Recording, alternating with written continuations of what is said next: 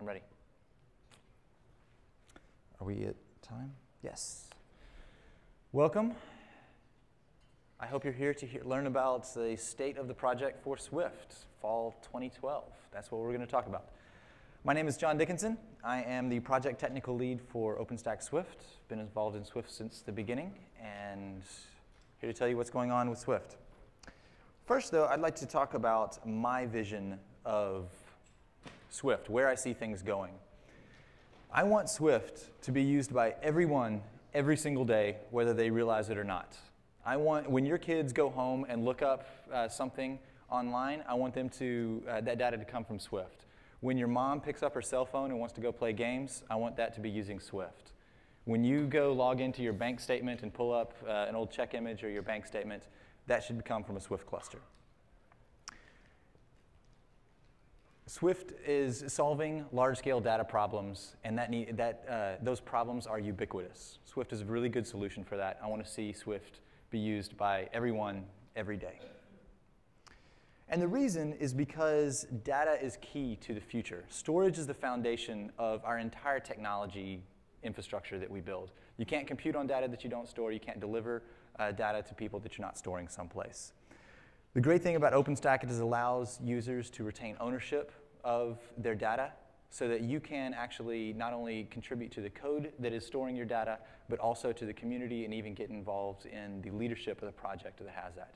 OpenStack and open systems like that allow you to have complete ownership of your entire data. First, let's talk about some new features that have gone into Swift over the last six months. Just as a brief recap, uh, Swift uh, released Essex uh, for the last, uh, in April, at the last, uh, right before the last summit. Uh, Essex was Swift version 1.4.8.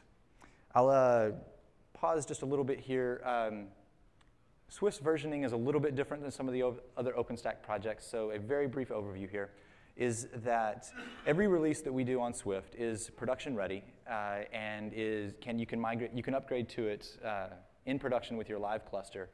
Um, it's certified to run at scale in production. So we make regular releases uh, throughout the OpenStack development cycle, uh, as opposed to doing say milestones like some of the other OpenStack projects. Uh, but then we coordinate every six months with the other projects to ensure that we have something that works well with everything else and that we have a common release in time for the OpenStack six-month cycle. The versioning number scheme actually comes from the fact that Swift uh, existed prior to OpenStack and was an open source as part of OpenStack. So, new features that we have had. Uh, Swift 1.4.8 was Essex. Folsom that we just released was Swift 1.7.4. Uh, don't get too hung up on the, the differential uh, numbers there. Uh, we've had uh, several, uh, several releases in, that, in the past six months, including some really very nice features. The first one is something somewhat internal to the cluster, but probably affects most people. And this is the fact that we have the ability to place data as uniquely as possible within the cluster now. In, in the Essex release and prior to the Essex release, the way data was placed in Swift is that it is based on availability zones. And so in a standard Swift cluster, when you have three replicas of data, you are required to have at least three availability zones, and we put one replica into a unique availability zone. And if you did not have enough availability zones, then you were not able to actually place your additional replicas. This is a bad thing. It worked pretty well, but unfortunately it was somewhat inflexible uh, for different sizes of organizations, and also uh, in the cases of certain kinds of failures, you cannot as effectively make use of the other hardware in your cluster. So what this patch did is allows data to be placed as uniquely as possible. A storage node in Swift is designated by three things. One, the availability zone. Two, the actual server that it's on, the IP and port and three is the mount point, so re referencing that particular hard drive. With the unique as possible patch, what happens is that first, data it tries to be uh, put into a, uh, into a unique zone. But if that's not possible, then it's going to go down to the next step, and it's going to be putting it onto a unique server. And if that's not possible, it's going to put it on a common server, and then uh, put it, make sure that it goes onto a different drive.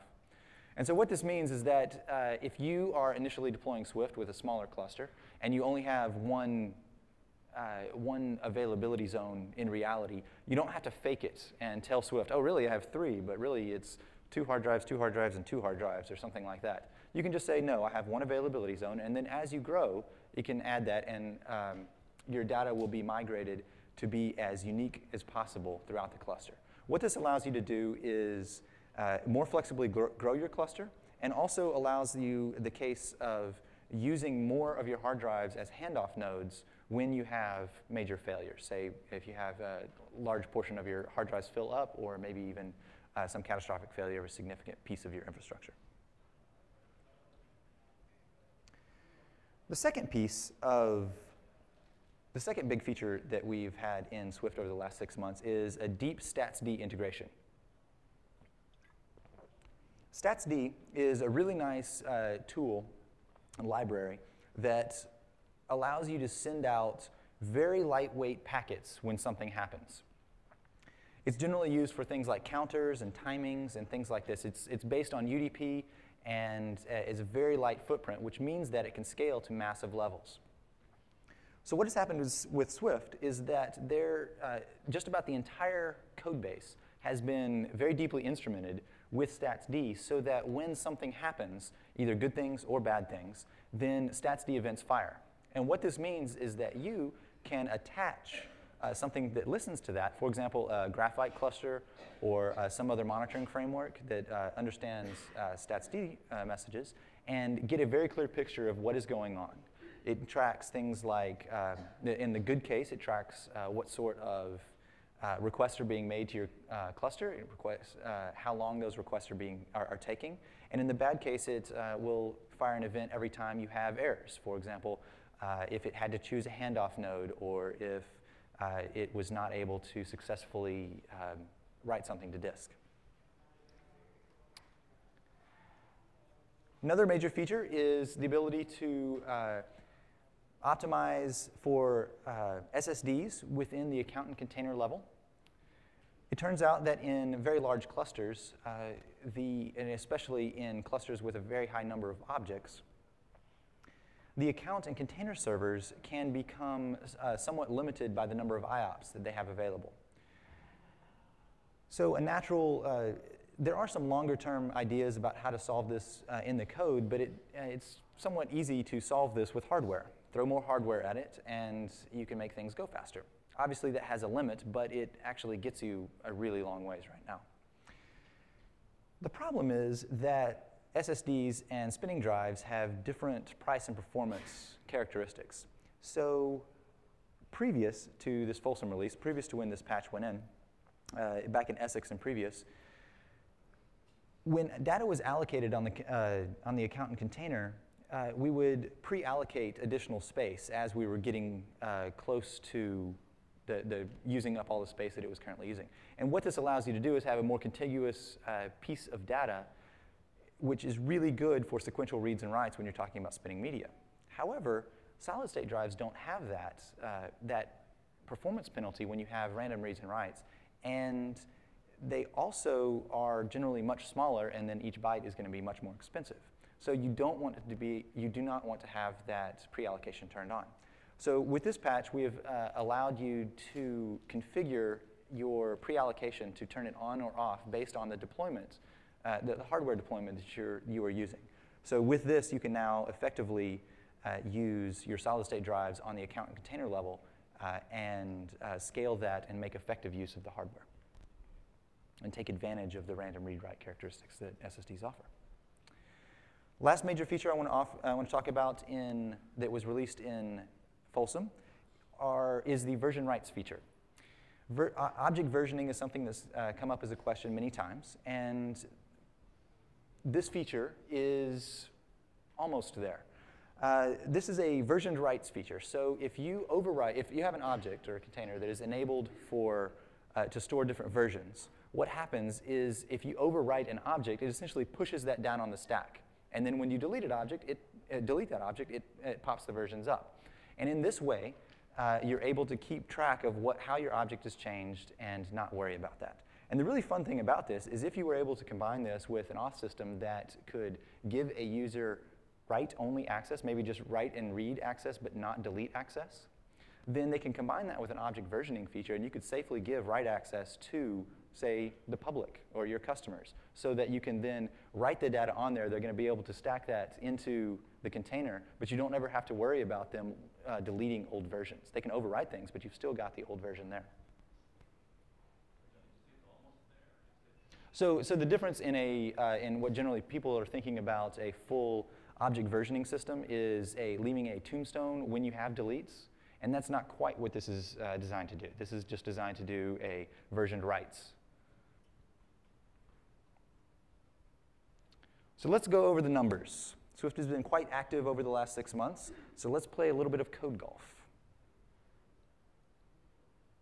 37. We've had 37 contributors in Swift over the past six months. These are people that have uh, had a patch merged into the code base. And the really exciting thing about this number is we have 70 contributors total, which means that we have over half of our contributors active currently within the code base. To me, this says that we've got a growing and, and uh, highly active code base. Uh, many people offering just a few commits, some people offering a lot of commits, but there's still a lot of people doing it. Of those 37 people, 20 have given a patch for the very first time. And many of these people have done, um, this, this, is their first patch into OpenStack, in any OpenStack project. And so I'm happy that they've chosen Swift to contribute to. These are the names of the people that we have uh, uh, had patches from in the last six months, and they're uh, first-time contributors into Swift.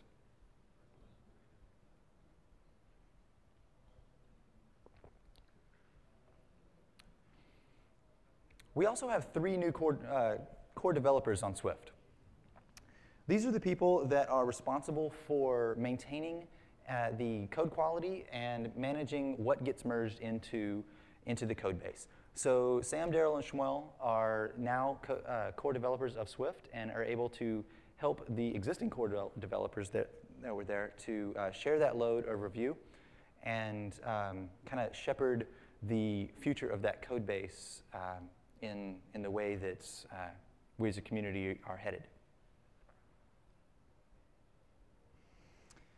Now we get into the uh, fun numbers that don't mean a whole lot, but they're just fun to look at. So we've had 170 total commits into the code base over the past uh, six months. The top committer, um, as always, so far, is uh, Greg Holt. Uh, unfortunately, he couldn't make it this week. Uh, he had, I believe, 40 of those 170 commits. 17. This is the most files modified in a single commit. Most commits just deal with a little, uh, one file, maybe one or two files. This one touched 17 individual files. And this was uh, Darrell's uh, StatsD integration. And obviously, if you have deep instrumentation of StatsD throughout the system, it's going to touch a lot of the, a lot of the system. This is the patch that had the most, and it touched 17 files. The most lines removed in a single commit is 3,466. This was Chmouel's patch, and it is uh, extracting the Swift client. So it wasn't so much of deleted, it was more things just moved out into a separate, pl separate place. And as a subnote here, uh, this is an important development in the Swift code base over the past six months. We have extracted the uh, command line utility and, the, um, and a Python language binding that um, into a separate OpenStack project that is the second deliverable of the Swift project.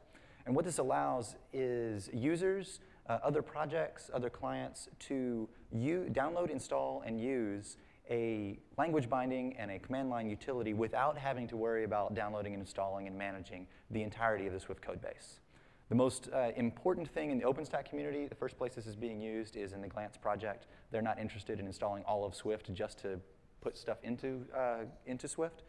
Um, but is also quite useful for others in the community who are building client tools, who are building um, all kinds of things that integrate and make the community better. On the opposite side, we've had the most lines added in a single commit. This is again the statsd commit, added 1,159 lines. So with that being said, what's next? What's coming in Swift? We've added a lot of great things. I am firmly convinced that Swift is better in the Folsom release than it was in the Essex release, and it is uh, much better than it was at the very beginning. Um, but we're still moving forward. So where are we going?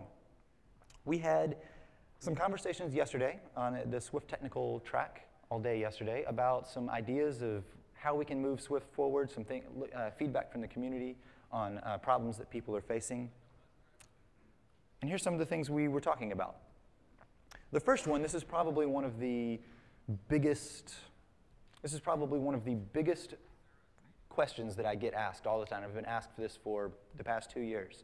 Is does Swift support geographic replication? Does it support global clusters? How can I have a data center in London and one in Singapore and have it all just as one logical Swift cluster? And the answer I've always had to say is that's a really interesting problem. I'd love to talk to you further about it, but no, we don't support that now. So we're moving forward on that. Uh, the company I work for, which is SwiftStack, has uh, invested some time in uh, designing out this feature.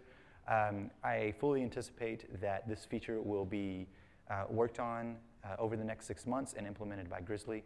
Uh, this is something that I've talked with many people here this week about as uh, far as partnering with other companies to ensure that we have a very good test bed and um, use case so that we're not simply designing something in isolation that we think is going to be useful, but rather we can design something that actually meets a real use case. That, was a, that sounded like a commitment. Did you want to sign here? that is my hope as the community leader. I, I certainly hope that it, it will be done. I have to stop just short of promising that uh, the commit will be done by you know whenever, but um, yes. Another uh, support that we've had, um, this patch was submitted and I think merged right before the summit, right after I made my slides, of course, um, by Rackspace. And this is a new feature that some people have asked for uh, in the community about full CORS support. What this allows uh, you to do is better integrate with a browser security model and allow your uh, web clients to directly interact with your Swift cluster rather than dealing with um, an intermediate proxy that you have to independently scale up. This is really advantageous when you're talking about especially things like dashboards and also when you're getting to um, other web content, um, you know, mobile games, uh, websites that are doing, doing things like that.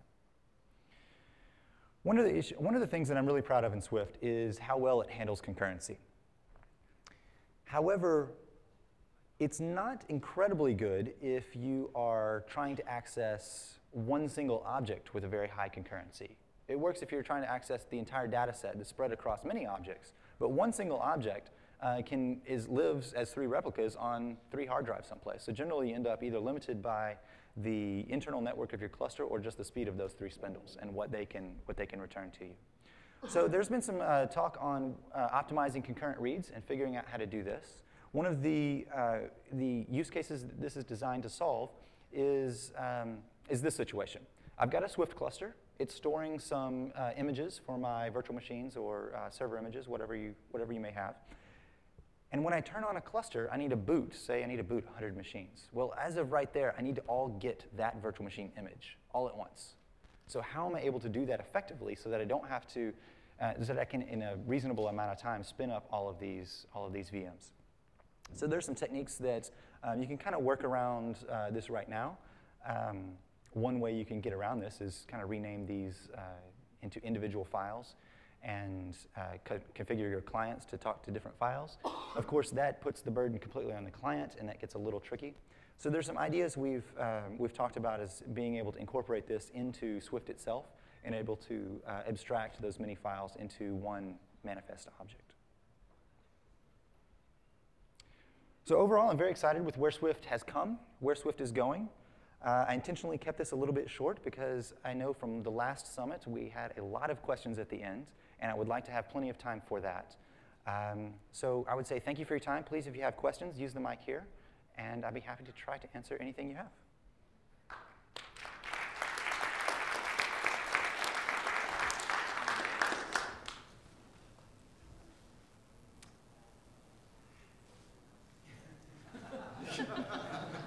awesome. So Swift is great. Oh, great question.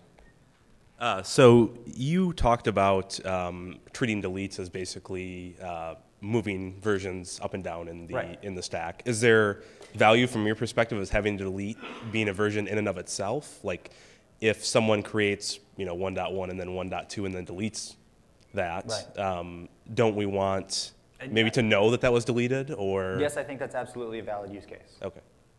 I, I, I don't think that's a bad thing. Um, I was just curious about the decision to remove a version versus having to delete being a version in and of itself.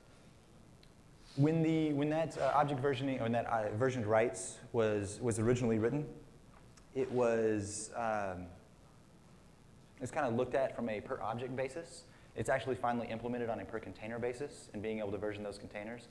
Um, if you do it on a per object basis, uh, the overhead of all of your reads throughout the system actually goes up quite a bit in order to check on those versions and see what's going on.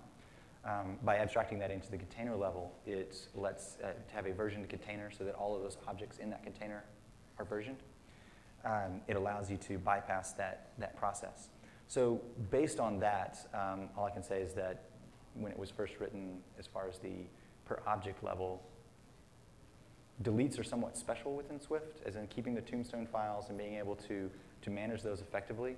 So this, this method is the versioned writes is less impactful as far as the underlying, um, the underlying object system.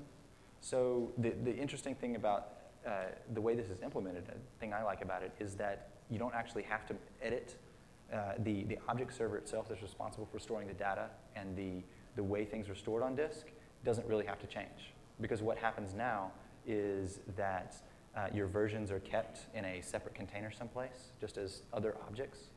And so um, when you access one object, uh, then it can return that, but it can manage pushing and popping onto the stack. Unfortunately, what that means is that deletes,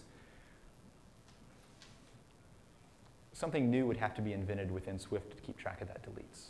And in order, and just to not do that, that's, that's the only reason, is just to keep it a simpler system.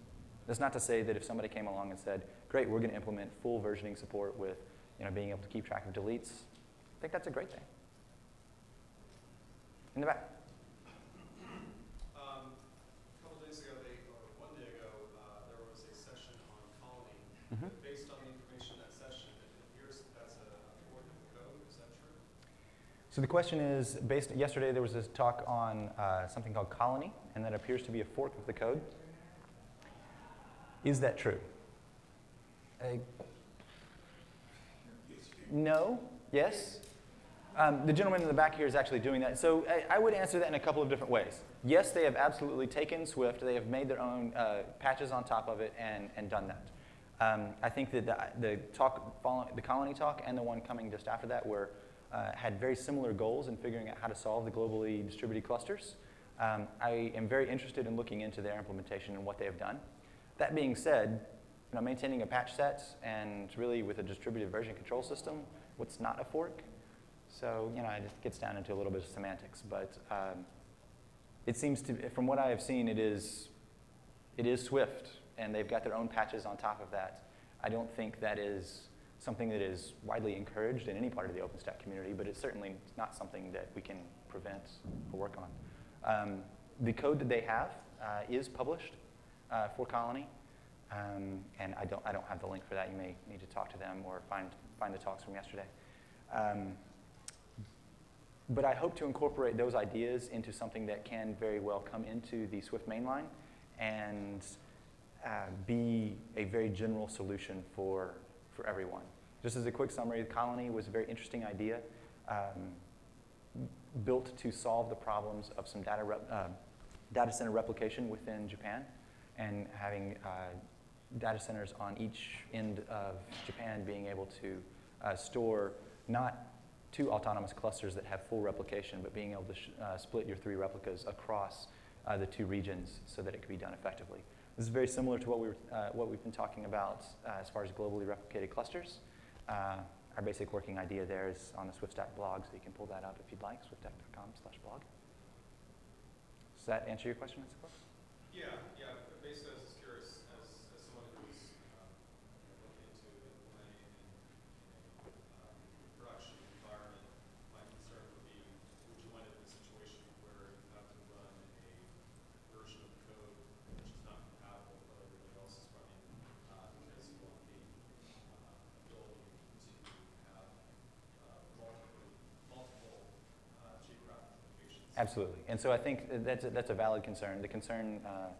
for, the, for the recording and those watching um, is that if you have multiple forks, it's which one is supported and what's the compatibility between them. Um, that's absolutely something we do not want to fracture the community at all. So let's design the community um, to be open and accepting to other people's patches and also uh, to solve uh, the general use case problems that are applicable to everyone so that we can effectively accept patches in, deploy it at the scale of very large service providers all the way down to private clouds that are um, quite a bit smaller.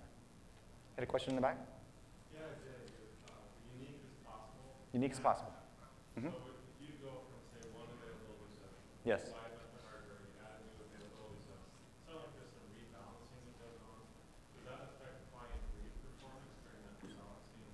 So the question is, uh, if you, on, specifically with the unique as possible uh, replication placement, if you have one rep, uh, availability zone and you move to a second one, uh, it sounds like there's going to be rebalancing done there, and what is the impact to the client as far as that goes? And the answer is yes, except um, rebalancing is, that, that situation is no different than simply adding new hardware as always in Swift. So you're going to be rebalancing your data out there. The difference is that if you have a new availability zone, you're going to have at least one replica move into that other availability zone um, until at least that fills up. And hopefully it's going to be the same size, so then you're going to end up with uh, a nicely balanced uh, cluster. So uh, being able to handle that rebalancing is uh, something that has uh, been solved in Swift since the very beginning. And the idea there is that you should add things gradually, uh, depending upon your internal network infrastructure and what that can handle based on your, your client's throughput and how much bandwidth your client is using versus how much you have available, available for replication and, and things like that. So yes, it does. Um, there is a rebalancing effort. There is concern, especially at scale, when you're adding in, say, another 25% to your uh, storage to your cluster. Um, don't saturate your top of, top of rack switches and things like that. Swift provides mechanisms so you can gradually do that over time. I think there was a question up here. Sina? Um, just on the SSD, uh, is it possible to have a mix, mixed Swift cluster that has different kinds of disks? Uh, can we provide to our customers an SSD part of the cluster and a normal disk part of the cluster? Or is it like you just have a Swift cluster? and- The question is, is it possible to have tiering of storage capabilities within an, a single Swift cluster? And the answer is no, not today. Uh, it's again something that people have talked about. Um, I would say that the answer to that question is the answer uh, today is the same answer we had to global replication six months ago. Kind of like, no, I'd be quite interested if you'd like to work on it, and I'd be happy to review your patches. Um, please submit them. Uh, I'd be very happy to uh, talk uh, overall as far as figuring out how to do that um, and bringing that to the rest of the community. That's something that um, research is they, they like that option. Some stuff Right. Now, my, my gut feeling is that some of the uh, advantages that can come with geographic distribution uh, could actually be made, uh, taken advantage of there. Uh, I, it, it seems to me that if you have something that is a high latency connection, because it's on the other side of the world, it's not a lot of di- difference uh, if it's right next to it, right next to it, but it just happens to be slow. So. Uh, going back to the rebalancing Mhm. topic, when you, uh, when you do the reconfiguration of the, the rates as far as the weights of Mhm. the devices are concerned, I've seen a couple of different scales. I've seen zero to 100, and I've also seen people use uh, the number of gigabytes on the individual disk for the weighted value. Sure. Um, are there pros and cons to either approach? I I know it's probably a it depends question, but is there a better method? Um, the question is about how to, how to choose the weights for your, for your devices within the ring. Um, I would recommend that you use the number of gigabytes on, on that particular device. And the, the advantage of that, rather than sticking to a 0 to 100 scale or something like that, is that it's uh, easy to grow into the future as you have three, four, and on terabyte drives and things like that. So um, I would recommend against doing 0 to 100 and say that you should probably just use the number of gigabytes in your drive. It makes a lot more sense. Any other questions? I'll, probably get a response uh, asking for patches for, for asking this one, but um, this is a, a long-standing one that's been sitting there, uh, which is quotas. Which quotas? Quotas. Quotas. Um, surprising, that is the first time this week that has come up. Congratulations. Um, the question is about quotas. What's the It step? came up in the metering. Uh, Oh, well, I, yeah. first time I've heard of it. Quota support. Um, we have seen, there, there was a patch that uh, was submitted uh, by Mike Barton uh, to add in some level of this. Um, I don't think it was merged. Um, and I don't remember exactly why. Um, I think there may have been some secondary issues on it. Um, but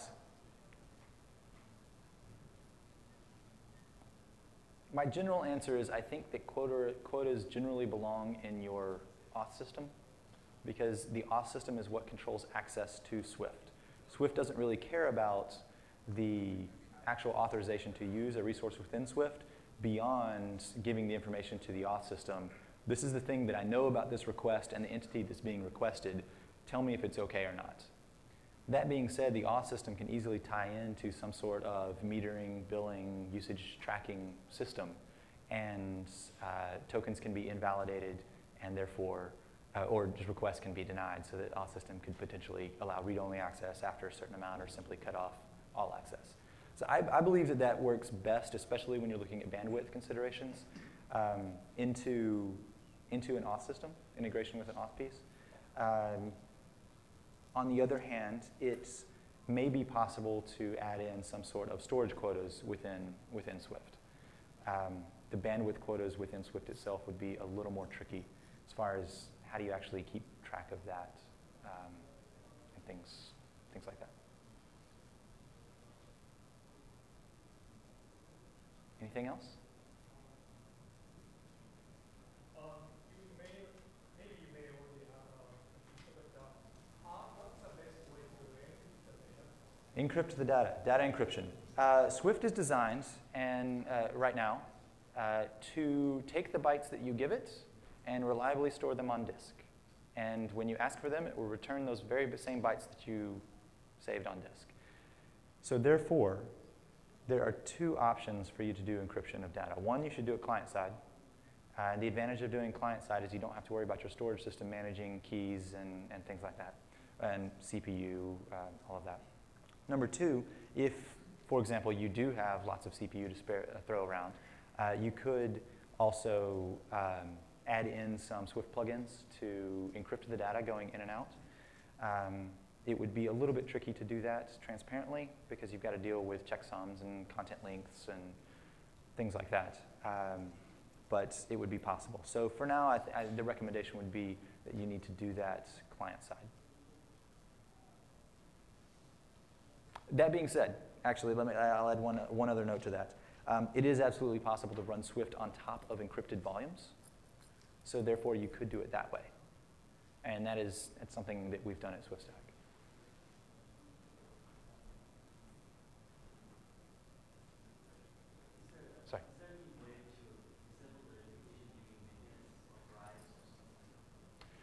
Is the, question is, is there a way to disable replication during maintenance drives, things like that? And the answer is, I suppose you could just turn it off. I mean, they're just daemons running on the, on the back end, so just kill the process. But more than that, I don't think that would be necessarily advised. Uh, there are certainly cer- cir- circumstances where you may want to you know, gradually shut down a machine and say, okay, I need to turn replication off here and make sure that it, you know, draining the data out, and I don't want to have to deal with, deal with that. Um, but as far as general maintenance and things like that goes, um, it, it, Swift, right? You can limit the incoming connections. Uh, you can. Uh, Swift will treat those sort of boxes as just downed boxes and, and work around it anyway. So you don't have to it, it just kind of works. You don't, there's not really a, a strong need to most of the time.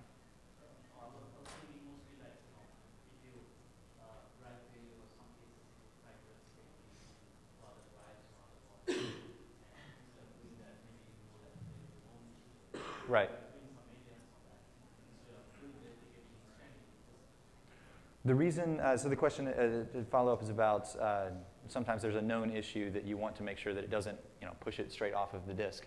And my only response to that is Swift is going to prioritize durability, which means that it's going to do the best it can to actually ensure that you have a full three replicas or your full replication count that you've asked for um, throughout your cluster. And so if you, if you were able to do that, you would be putting that at risk. Um, and kind of the main thing about Swift is that your data is sacred. You cannot lose it. So yes, you could turn off the replication process in that case, but I would recommend leaving it on to make sure you have your full replication. Rollback features as far as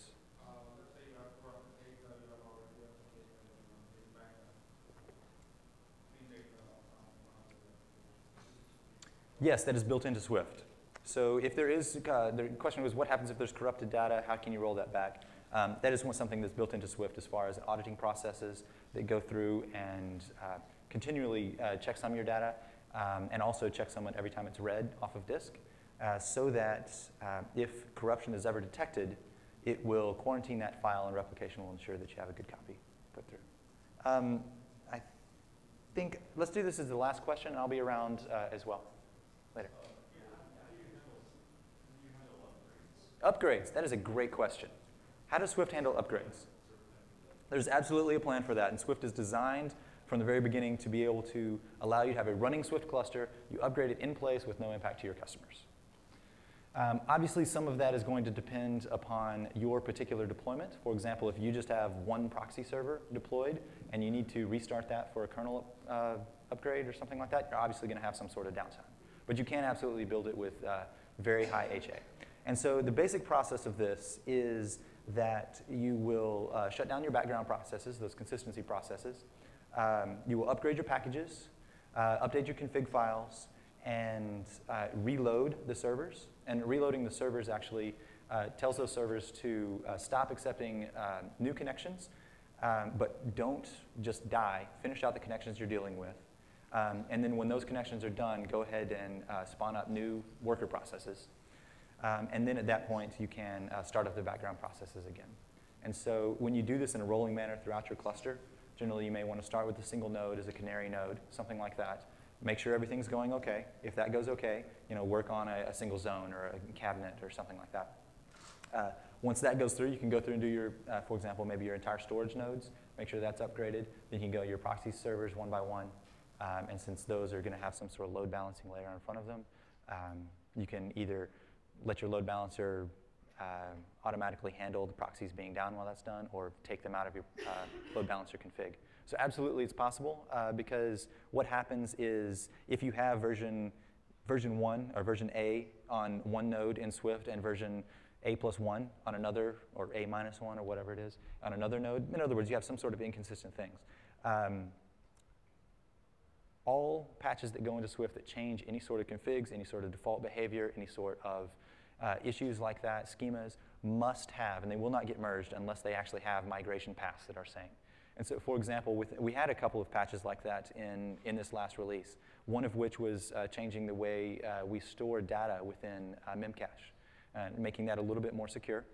Um, but being able to do that, you can't, you can't just upgrade your cluster and say, oh, we've got a new way to do this, new way to uh, serialize these keys in Memcache because on large clusters, that essentially is going to equate to a complete memcache flush, which is not only impactful for the cluster itself, but any clusters that that system may be dependent upon. For example, your auth systems or other things like that. You can't suddenly just have this enormous flood of requests. So uh, that patch specifically, um, instead of just saying, great, we're working on the new version now, actually has a staged, uh, a, a, new config variable that allows you to stage those uh, um, those, those changes. So one, it's like, hey, we're just going to use the old way. The second one is we're going to read the old way, but everything we write is going to be the new way, and we're going to be able to understand the new way as well. And then the third one, that you, uh, you can go through these stages, you know, once a day, or uh, one every day, just to make sure you have everything, everything processed. And the third stage is, uh, okay, great, just read and write the new way, and then we're good. And then in the future, we may re remove support for those older two ways so that you are guaranteed to be running on that secured, secured way. And so I, I use that as an example to say that um, when you have something coming into Swift, it's absolutely going to be designed to have a migration path, be able to be upgraded in place, and um, yeah, the code's there. So that's something that um, you can either just say, yeah, that guy standing up on the on the stage said that it was going to work, so it must going to work. Or you can look at it and say, there are lots and lots of companies out there actually running this thing at huge scale in production with massive top five websites, um, major, major impactful things that if it starts to go down, they're going to start losing money the, you know, the very next minute. So let's not let that happen. Those sort of things cannot happen. And uh, I would say you would look at the community and the people that are here, the people that are have all their boots out there. Those are the, that's, that's your guarantee that um, is Rackspace, is HP, or um, you know, our customers at SwiftStack, are they going to uh, allow us to have downtime based on some upgrade thing? Otherwise, you can't upgrade, and we don't want that. So, thank you very much for your time. I'll be around uh, all week.